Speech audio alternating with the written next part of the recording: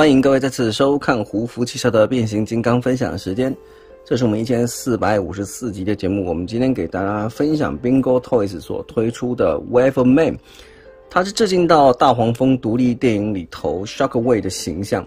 那规避版权的关系呢，Wave Man 应该翻译成什么波南吗？我不知道怎么样给它一个中文的命名啊。那么说到真人电影的话呢，其实最近这几年以来，不管官方也好，或者是第三方也好，都是逐渐的朝大黄蜂独立电影的角色里头去做取材了啊。或许在不久之后啊，它就会取代先前 Michael Bay 所拍的五部曲的形象哦，成为新一代真人电影的一个代表的一个样子了。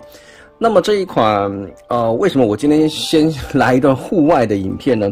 那是因为呢，先前我录过很多次紫色的玩具啊，包括 MP 二十九 MP 的这个震波，还有很多这个其他系列的震波的这个紫色啊，大家的配色都呃都是看上去都有点不太一样。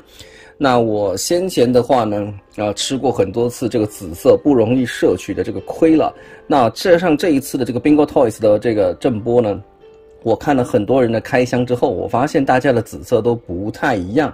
那我自己拿到之后呢，发现怎么跟别人更不一样啊？到底我是买到了金土版还是买到了 KO 版，我自己都搞不清楚了。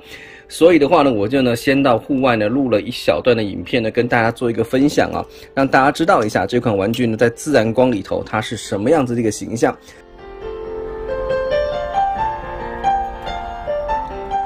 那我们现在呢就回到我平常录影片的房间里头了。那先给各位做一个简单的展示，它比官方的 MPM 十二要大上非常的多，所以呢，它是无法跟目前现有的官方的 MPM 去做一个相比的。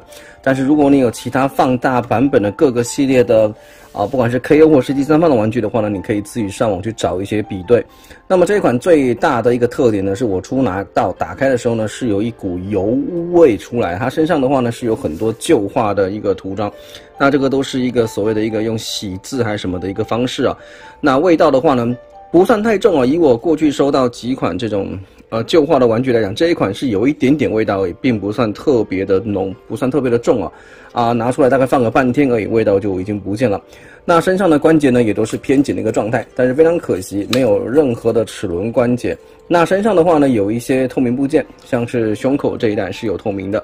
那它的一个眼珠子是可以发光，但是它附带的那个呃需要买的电池呢，比较不容易去买到。我把型号打在画面里头。那这个在一般的五金行在台湾是买不到的。然后我上网买，因为价格实在太低啊，要买很多他们才送。那所以这一集我就不展示它的一个发光了啊。然后身上有合金部件，它的合金部件呢，并不是在脚底板，而是在大腿的前还有后啊这两个地方呢。天气比较冷啊，摸上去的就非常的冰冷啊，感觉一个呃重量的分配还算合理。特别是变成枪的时候，它是在人形的呃枪形态的一个中间。另外的金属部件就是这个了啊，这个像是弹簧管组合起来的一个枪管，你要接在这一侧也可以，接在这边也是没有问题的啊。这个背影看上去还是比较好看的，这个背包啊，可以说是完全收到没有的一个状态了。然后身上的可动的话呢。也给各位做个简单的展示啦。头部是一个球形关节，左右动没有问题。这个天线的话呢，变形的需要呢，你可以调整一个，调整一下，你可以转到你觉得比较好看的一个造造型啊。这一块部件的话呢，变形的时候呢，推到后面，平常是在上方，但是你手往上推的时候呢，有可能会把它给挤上来。手臂三六零度的转动。没有任何问题啊，这里面有齿轮关节比较可惜。然后二头肌也是可以转动的啊，二头肌的话呢是连带这个肩胛一起动，这个肩胛是随着二头肌肌做一个转动的。手臂啊可以折到超过于九十度一点点啊，这一带的话造型有做一个小缺口。那每根指头的话呢都有独立的一个关节啊，然后后面的食指以及到小指这四根指头都是有中间还有一处的转折关节。拇指的话呢啊。只有这个根部一个关节，那这个拇指的话感觉比较细啊，各位在变形把玩的时候呢，建议还是稍微留意小心一下。那么另外一只手的话呢，我目前是把它装装上了它一个大炮，这大炮的一个安装呢也是比较简单的，一个卡扣扣上去就行了。那这个枪的造型也给各位看一下，这里面呢有个磁铁啊，磁铁的话呢它是有功能的，它是靠近头部的话呢可以触动它的一个发光的装置，然后人形态还是可以往前，啊，把这个头给低下来的。那腰身也是可以转动，裙甲的话呢，一共有六片，前后各两片，左右也各两片，所以一共是有六片的一个装置。而且它这个裙甲啊，啊，在变形的时候呢，是有起到固定身体的作用。包括这两个紫色的背甲啊，都是它固定身体使用的。然后这个脚的话呢，可以上面、下面可以稍微有搓动一下下。然后这个膝盖的话呢，可以弯到大概九十度啊。然后这里有一个圆弧形的一个造型啊，可以最大可以弯到这么多。然后后方这个线条我觉得挺好看的，有一个呃蛮有力量感的一个小腿后面那个肌肉的感觉。然后脚踝、根部是一个球形关节。那这一代啊涂装还不赖。看上去好像金属的，但其实它只是一个塑胶的一个部件而已。整体的一个塑胶来说的话呢，还算过得去，但是呢，绝对不是那种可能要，呃，可能要台币五千以上的那种玩具可以相比的。这个定价的话呢，我看了一下，人民币大概是六百块钱，可能台币也就是，呃，两千六七百这样子吧，可能比一个官方啊 leader 级的一个原价的还要再稍微高一点点的价位。但它可以发光，体型也很大，人形的一个美型度的话呢，啊是没有什么好挑剔的。那我们来示范一下它的一个变形了啊。首先的话呢，我们第一个步骤呢，先把头给缩进去好了。头的话呢，你可以先把这个天线的话呢，稍微做个简单的小调整，然后胸口直接打开，它这里是有一个锁扣的，这里是有一个凸跟凹的一个结合，把它给打开，稍微往前推一点之后呢，将这个头部啊往内塞进来。啊，塞进去，然后呢，再把它给扣上去。它这里是有一个结合卡扣，各位应该能够看得到啊，就把它扣上去就行了。然后这两片肩甲的话呢，是往后面推，能推多少就是多少了。然后这个时候呢，你会发现这两片的这个背甲的话是可以拆下来的啊。哦，不对，是往下移下来的。然后这里不是有个凸吗？内侧是有个凸跟它的一个结合的。那我们就是呢，把它给转过来，先这样子过来，然后呢，把它给进行一个锁扣啊。它的这个紫色的这个背甲的一个目的呢，就是将人形的这个，啊，这个算是横膈膜的这个可动的话呢，把它给锁扣住，让它在箱形态下呢不要再晃动了啊，这个地方把它给扣上。再来的话呢，我们就进行手部的变形，先把这个手炮啊给往下就拿下来，这个扣的时候是扣的是比较紧的啊。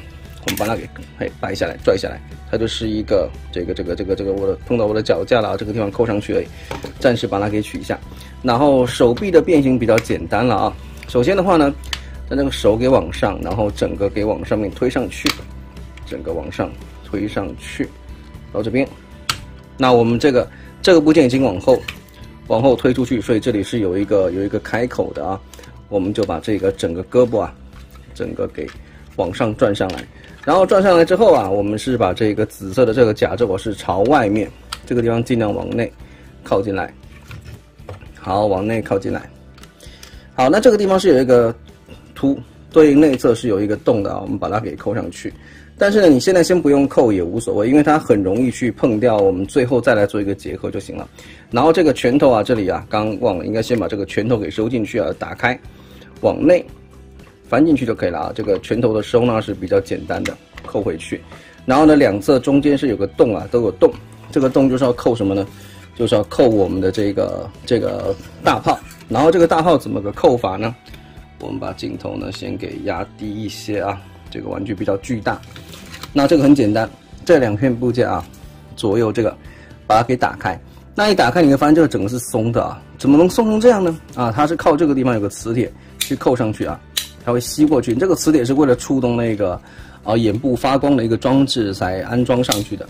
那我们把这个地方给打开，然后这里不是两侧 两个凸，就是去扣手中间这两个洞，我们把它给做一个安插。这边这个地方卡扣扣上去，另外一边也是一样的。那这个部件啊，记得把它给紫色部件记得推上去啊，推上去，然后这里两边。尽量的把它给压好，压好之后的话呢，上面这个部件啊，这里有跟这里也是有凸跟凹的一个结合的，我们把它给做一个简单的一个组合。将上方这两个卡扣锁定之后的话呢，它的这个地方啊，这个凸跟内侧这个凹呢，你就可以做一个组合了啊。那从这个地方往下面推，把它给扣上，两侧都一样。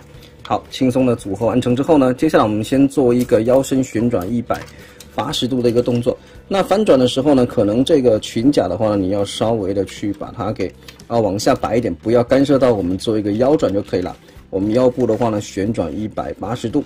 那再来的话呢，我们要把这一块部件呢，这一块部件跟这里有个凸要扣上。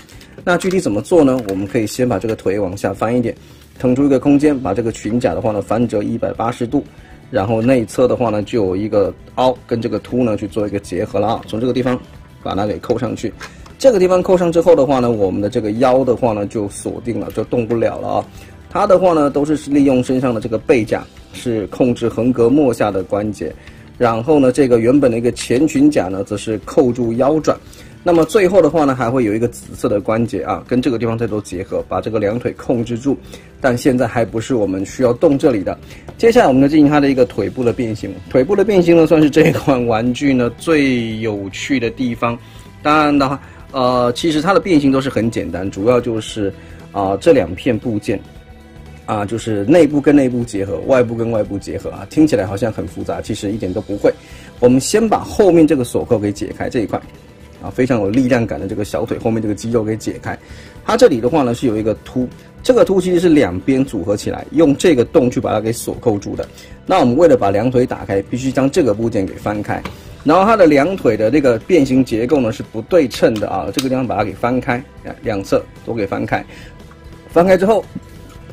啊，先都先翻开好了，这里往下，你可以翻开来，先给各位看一下两边的造型，你看到吗？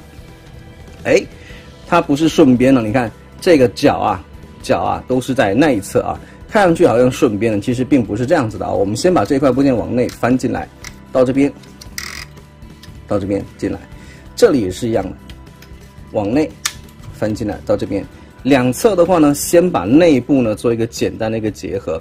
简单的结合，非常简单的一个结合，那你就看得到的部分呢，就把它给扣上去，就没有问题了。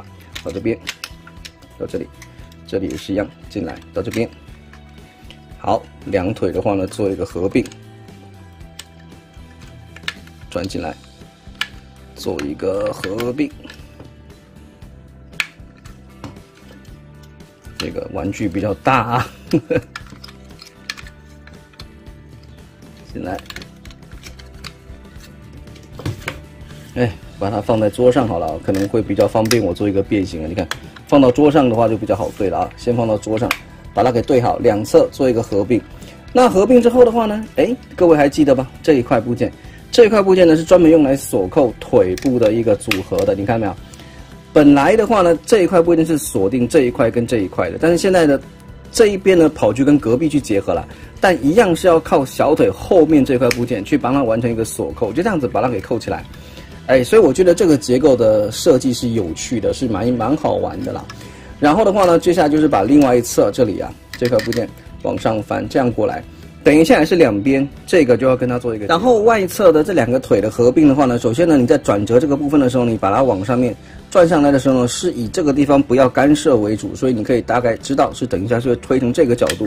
那么这边的这个角的话呢，它有这里有一块连接的这个部件，连接部件你把它往内推进来之后的话呢，把这个斜肩是转到朝后方的，转到朝后方。然后这个角的话呢，一样啊，你看到没有？黑色部件跟这个部件是会形成一个干涉的，你就把这个部件压下来一点呢，让它能够放到下方来就行了。这边也是一样，这个角度进来，然后呢，就是把这边这个紫色这个凸啊。扣进前方的这个凹槽，那另外这一边的话呢，则是扣进偏后面的那个那个那个那个洞里头去。那我们就是把它的两侧的话呢，做一个结合。但在那之前的话呢，你可以呢，先偷偷的呢，把这一块部件呢给往内转进来啊？为什么呢？因为待会的话呢，这一块部件跟这块部件要做一个结合。那等一下碰上面如果结合好之后呢，下面要再扣上去呢，我怕是比较困难。所以我们先把它给偷偷的给转到一个啊，等一下我们预定结合的一个角度，这样子扣上去，然后我们就可以进行这个紫色部件的一个结合了。那一样的，刚有提过了啊，你这个部件进来的时候呢，啊是要避开这个膝盖这个地方的这个干涉的，你就稍微去往下或往上转一个角度就可以了。然后这一边扣上了，另外一侧呢也已经扣上去。最后的话呢，这里哦，我刚刚已经啊把它给压上了。最后的话呢，就是这个枪，这个地方会松动，靠的是哪里呢？就是这个紫色部件跟这里有一个洞组做一个结合。那这个时候呢，可能会扣不上，我们就把这个枪的话往前面啊往前推挤一点点，它这个脚的话呢是可以往上缩进来的，这样子缩进来，最后这个紫色部件的话呢，就能够顺利的扣上了。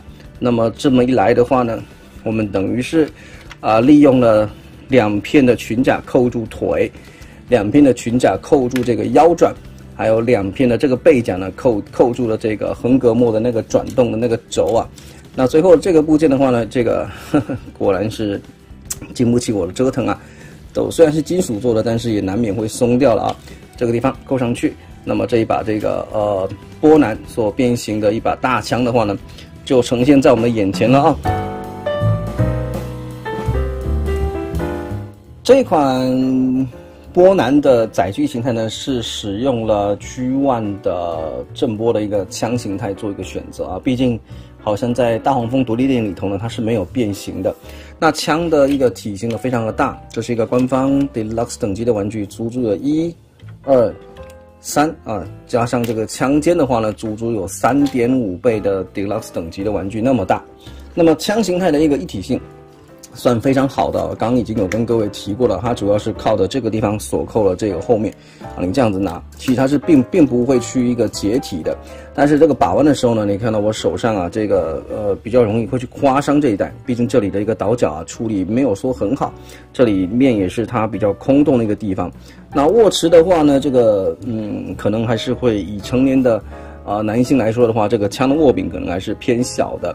上方的细节，各位可以简单的看一下啊。毕竟，呃，也也算是电影系的玩具，但是因为它体型比较大啊，所以说有些地方感觉好像还是不够多。那所幸它的涂装非常的不赖啊，这些旧画什么的呢，在这些沟槽里头呢，都很好的让它的一个细节更加的一个突出。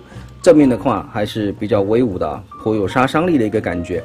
那么它的一个。呃，重量的话呢，最沉的地方，那就这个地方，刚刚有提过，大腿的部分呢都是合金部件，所以它重心会在正中央的部分。那这个管子的部分啊，就是把玩的时候，虽然是金属的，不会去一个裂开，但是有些地方不小心去推它，可能会有小小的一个变形啊，这个时候是难免会去发生的。那么这个载具，如果你翻过来的话呢？有一点像是一个军舰的感觉啊！如果你玩过官方的这个泰坦回归或者是其他系列的一个六面兽啊，你把这个枪啊反过来的话呢，它都直接啊直接给你说这是一个潜水艇的一个状态啊啊！毕竟现在枪型的玩具的话呢，可能会有面临到一个管制的一个状况。那这是它的一个底部。